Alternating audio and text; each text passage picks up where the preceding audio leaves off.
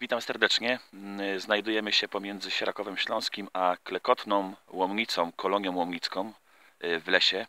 Y, Tu jest takie fajne miejsce, według moich informacji mm, y, nazywane Szczerkowe Górki lub Szczyrkowe Górki. Jesteśmy na dole, tak to wygląda. I myślałem, że nic mnie nie zaskoczy już w lasach, bo ostatnio dosyć sporo tutaj krążę w różnych okolicach. I proszę zobaczyć.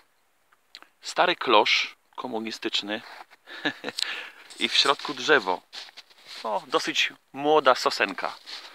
Yy, Widocznie ktoś kiedyś, yy, sadząc tutaj drzewa, yy, w tym wyrobisku, bo myślę, że to jest wyrobisko gliny, zrobił tak, że, że nasadził klosz na posadzone drzewko i ten klosz tak sobie rośnie już z tym drzewkiem. Człowiek może wszystko. Pozdrawiam.